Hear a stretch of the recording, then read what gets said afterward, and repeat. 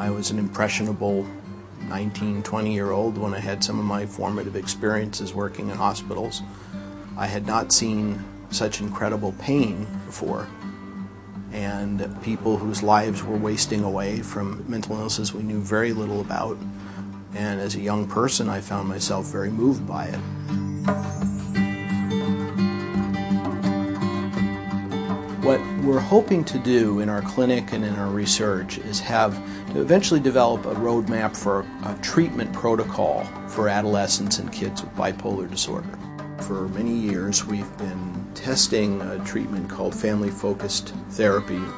The idea is that the combination of family intervention and medication is going to work better than medication alone.